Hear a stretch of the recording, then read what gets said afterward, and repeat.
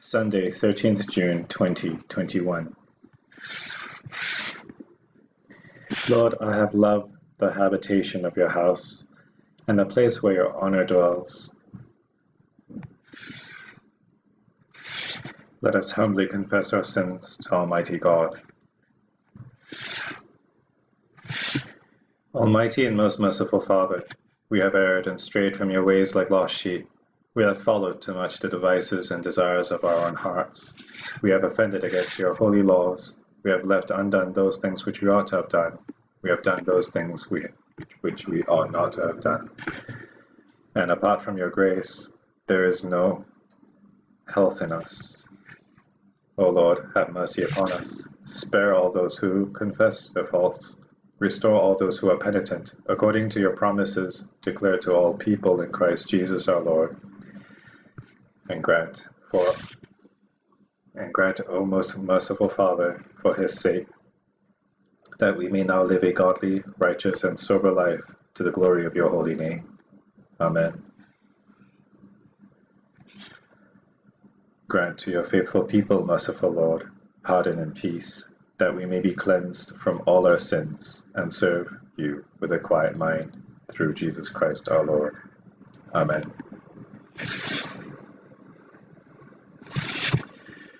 O Lord, open our lips, and our mouth shall proclaim your praise.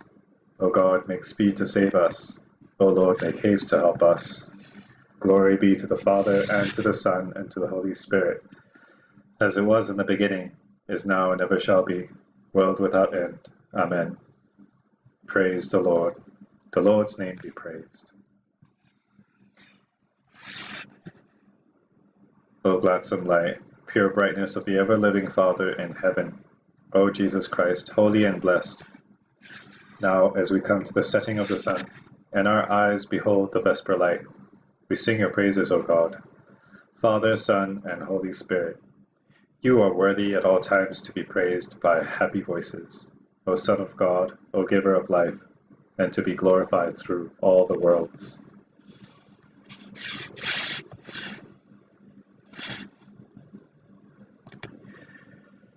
They made a calf in Horeb and worshipped a molten image. Thus they exchanged their glory for the image of a calf that feeds on hay and they forgot God their Saviour, who had done great things in Egypt, wondrous things in the land of Ham, and fearful things by the Red Sea. So he said he would have destroyed them, had not Moses his chosen stood before him in the gap to turn away his wrathful indignation, lest he should destroy them. Then they scorned that pleasant land, and gave no credence to his word, but murmured in their tents, and did not hearken to the voice of the Lord. Then he lifted up his hand against them to overthrow them in the wilderness, to cast out their seed among the nations, and to scatter them in all the lands.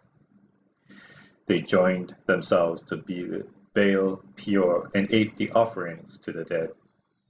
Thus they provoked him to anger with their wanton deeds, and a plague broke out among them. Then Phinehas stood up and interceded, and so the plague was ended. And that was counted to him as righteousness among all generations forevermore. They angered him also at the waters of strife, so that he punished Moses for their misdeeds. For they provoked him to anger, so that he spoke rashly with his lips. Neither did they destroy the peoples as the Lord commanded them, but intermingled among the nations and learned their heathen ways, so that they worshipped their idols, which became a snare to them. They offered their sons and their daughters to demons and shed innocent blood, even the blood of their sons and of their daughters, whom they offered to the idols of Canaan, and the land was defiled with blood. Thus were they defiled by their own works, and went whoring with their own deeds. Therefore was the wrath of the Lord kindled against his people, and he abhorred his own inheritance, and gave them over into the hands of the nations. And those who hated them were lords over them. Their enemies oppressed them and held them in subjection.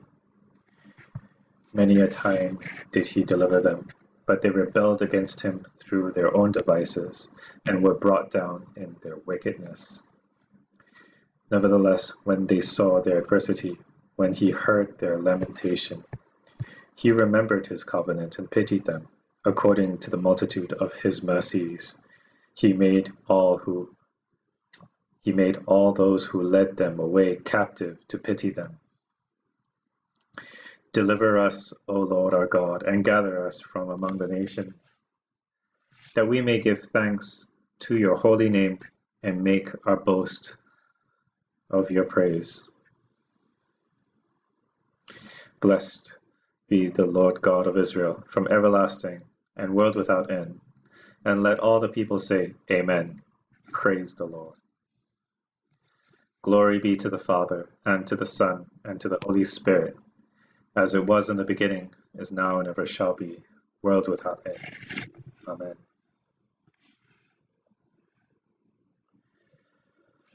A reading from the prophet Ezekiel, beginning with the 18th chapter, the first verse.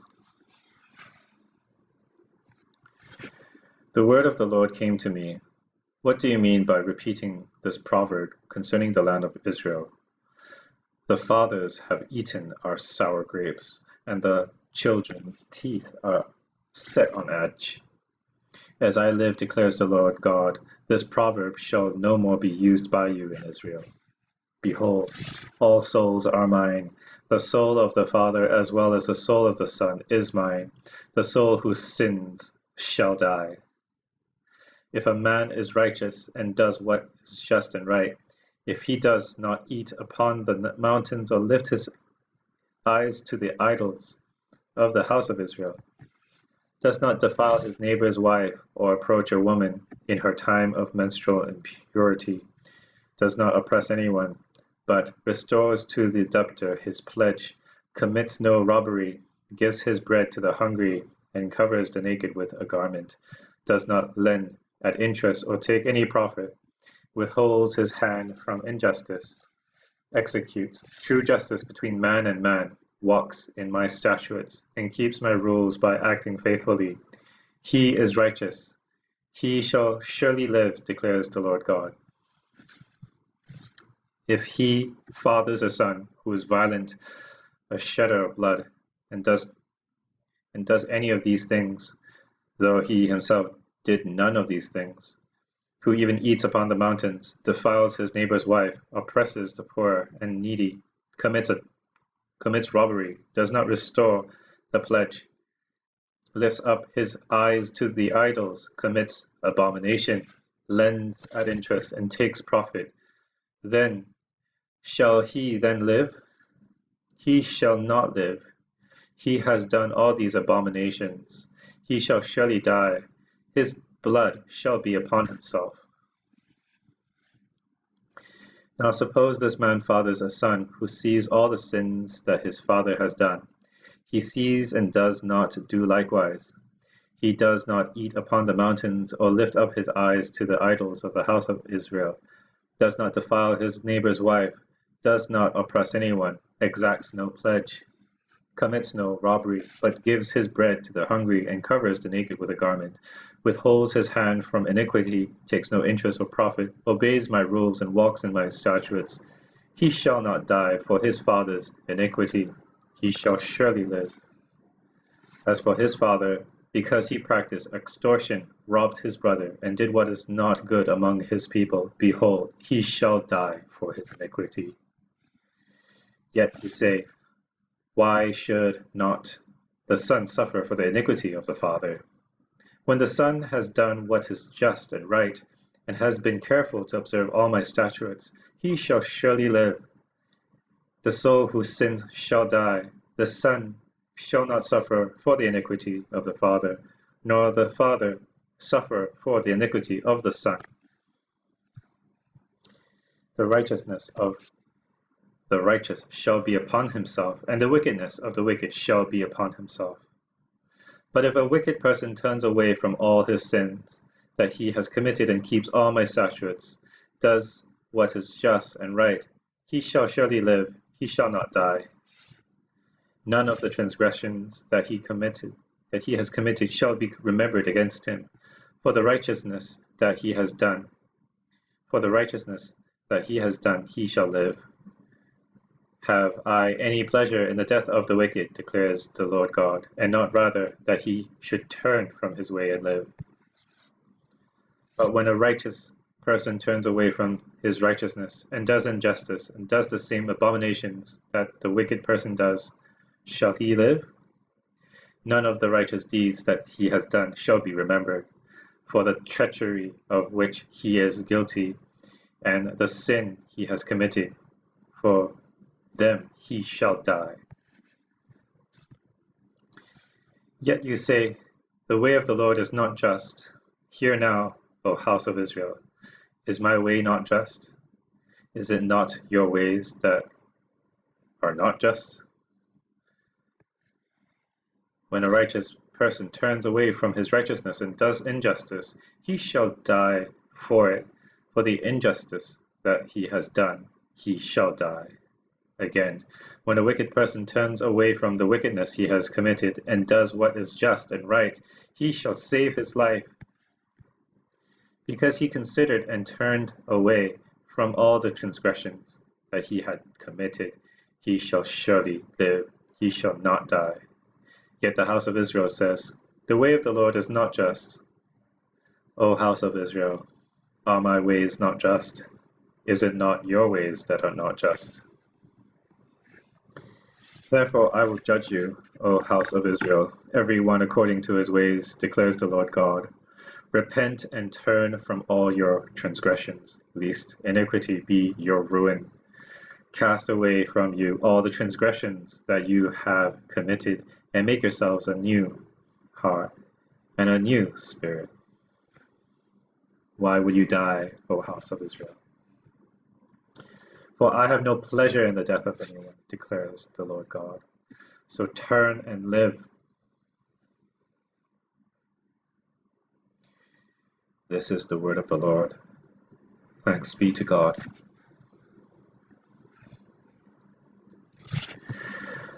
My soul magnifies the Lord, and my spirit rejoices in God my Saviour, for he has regarded the lowliness of his handmaiden. For behold, from now on all generations will call me blessed, for he that is mighty has magnified me, and holy is his name. And his mercy is on those who fear him throughout all generations. He has shown the strength of his arm. He has scattered the proud in the imagination of their hearts. He has brought down the mighty from their thrones, and has exalted the humble and meek. He has filled the hungry with good things, and the rich he has sent empty away. He, remembering his mercy, has helped his servant Israel, as he promised to our fathers, Abraham and his seed forever. Glory be to the Father, and to the Son, and to the Holy Spirit, as it was in the beginning, is now, and ever shall be, world without end. Amen. A reading from the Acts of the Apostles beginning with the 14th chapter, the 8th verse.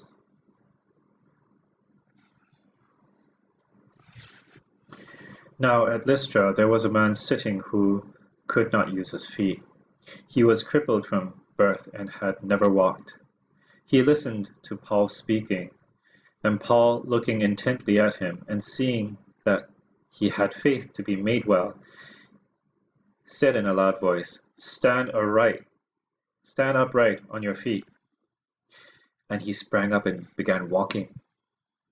And when the crowd saw that Paul, what Saul, what Paul had done, they lifted up their voices, saying in like, Lycaonian, the gods have come down to us in the likeness of men.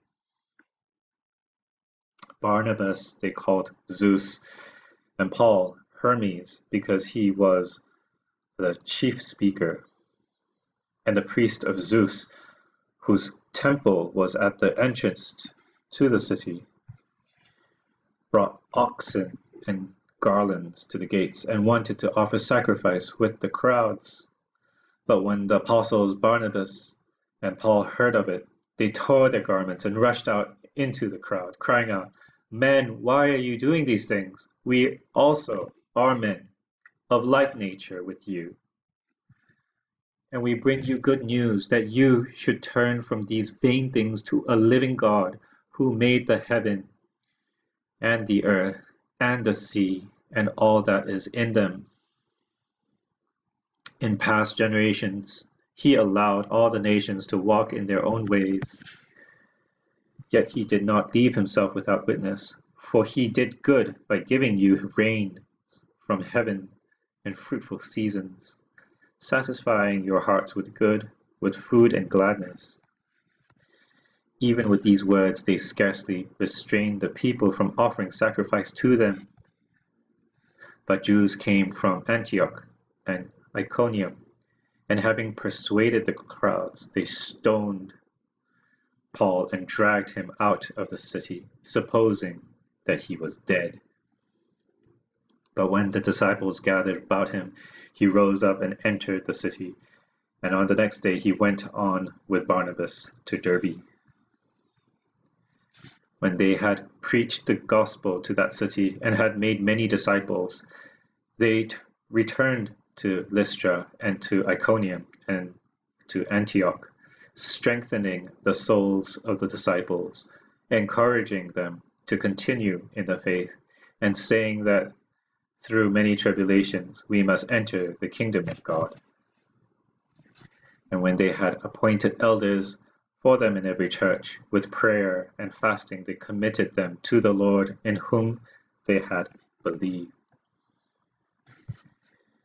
Then they passed through Pisidia and came to Pamphylia. And when they had spoken the word in Perga, they went down to Attalia, and from there they sailed to Antioch, where they had been commended to the grace of God for their work that they had fulfilled. And when they arrived and gathered the church together, they declared all that God had done with them, and how he had opened a door of faith to the Gentiles. And they remained no and they remained no little time with the disciples. The word of the Lord. Thanks be to God. Lord, now let your servant depart in peace, according to your word. For my eyes have seen your salvation, which you have prepared before the face of all people, to be a light to lighten the Gentiles, and to be the glory of your people Israel. Glory be to the Father, and to the Son, and to the Holy Spirit, as it was in the beginning, is now, and ever shall be, world without end. Amen.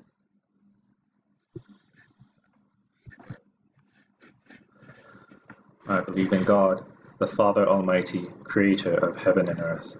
I believe in Jesus Christ, his only Son, our Lord. He was conceived by the Holy Spirit and born of the Virgin Mary. He suffered under Pontius Pilate, was crucified, died, and was buried. He descended to the dead. On the third day he rose again. He ascended into heaven, and is seated at the right hand of the Father. He will come again to judge the living and the dead. I believe in the Holy Spirit, the Holy Catholic Church, the communion of saints, the forgiveness of sins, the resurrection of the body, and the life everlasting. Amen. The Lord be with you, and with your spirit. Let us pray. Lord, have mercy upon us. Christ, have mercy upon us. Lord, have mercy upon us. Our Father, who art in heaven, hallowed be your name. Your, thy kingdom come, thy will be done on earth as it is in heaven. Give us this day our daily bread, and forgive us our trespasses, as we forgive those who trespass against us. And lead us not into temptation, but deliver us from evil. For thine is the kingdom, and the power, and the glory, for ever and ever. Amen. O Lord, show your mercy upon us, and grant us your salvation. O Lord, guide those who govern us, and lead us in the way of justice and truth. Clothe your ministers with righteousness, and let your people sing with joy. O Lord, save your people, and bless your inheritance. Give peace in our time, O God, and defend us by your mighty power.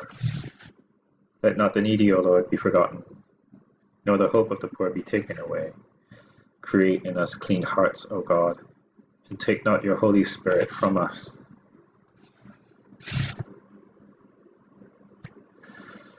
O Lord, from whom all good proceeds, grant us the inspiration of your Holy Spirit, that we may always think those things that are good, and by your mercy, by your merciful guidance, may accomplish the same.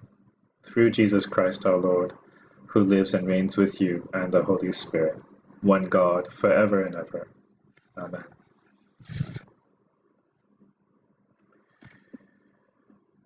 Lord God, whose Son, our Saviour Jesus Christ, triumphed over the powers of death and prepared for us our place in the New Jerusalem, grant that we, who have this day given thanks for his resurrection, may praise you in that city of which he is delight, and where he lives and reigns for ever and ever.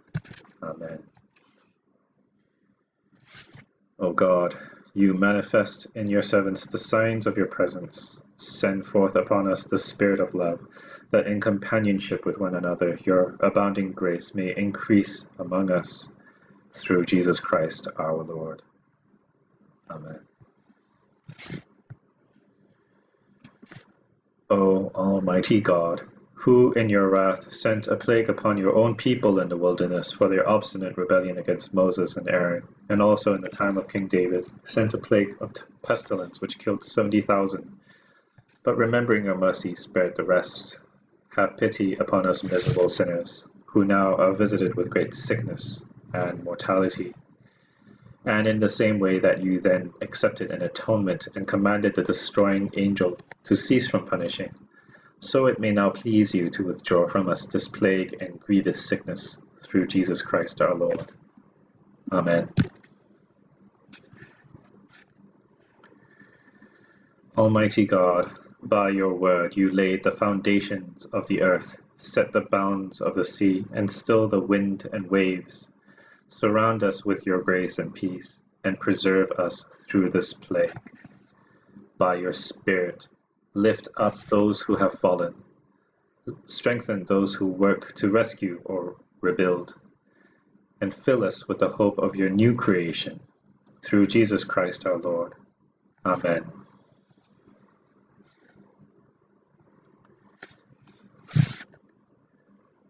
Almighty God, Father of all mercies, we, your unworthy servants, give you humble thanks for your goodness for all your goodness and loving kindness to us and to all whom you have made. We bless you for our creation, preservation, and all the blessings of this life, but above all for your immeasurable love in the redemption of the world by our Lord Jesus Christ, for the means of grace and for the hope of glory. And we pray, give us such an awareness of your mercies that with truly thankful hearts we may show forth your praise, not only with our lips, but in our lives by giving up ourselves to your service and by walking before you in holiness and righteousness all our days. Through Jesus Christ our Lord, to whom with you and the Holy Spirit be honor and glory throughout all ages. Amen.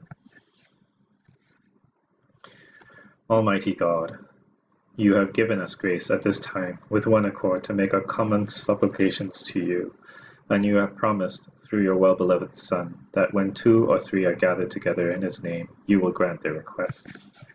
Fulfill now, O Lord, our desires and petitions as may be best for us, granting us in this world knowledge of your truth, and in the age to come, life everlasting. Amen.